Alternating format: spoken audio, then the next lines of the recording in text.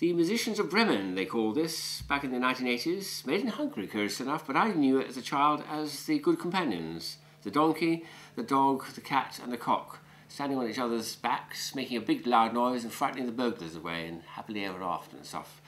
This also is a thumb toy, so on the base, when I push this front bit, you'll get the heads wagging, and on the other side, the tails would all wag, heads and tails, and then when I push hard, the entire structure will collapse. Ooh, all the way down. And then release it and come all the way up again.